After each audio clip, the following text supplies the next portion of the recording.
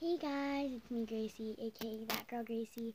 So, in my last video, which was like a few minutes ago, um, you heard me say at the end that I was probably getting a new channel and that I was probably gonna do another video right now, saying how I was gonna show it to you and everything. So yeah, I just did that, guys. I on my new channel, I subscribed to all the people I was already subscribed to, and I made all my playlists again, and so everything is just the same, except like I don't have my history the same, but like all my liked videos that Millie randomly likes, but whatever.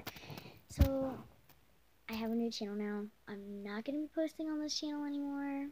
It's really sad to say, but I'm not gonna be posting on this channel anymore, guys.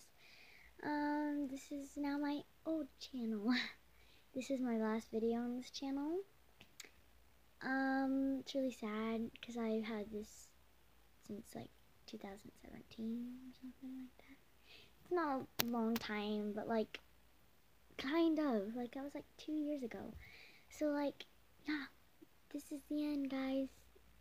But I have a new channel, so it's okay. I'm just gonna be leaving this channel, going to another channel, so it's just easier. You just look up Gracie's Life, not Gracie's World. Also, because I didn't like that, because when you looked up Gracie's World, came up with that other girl, Grace's World, and she does a lot of Barbie doll stuff and stuff, and I don't really like that. So, so this is my new channel. It's similar to my one I have now.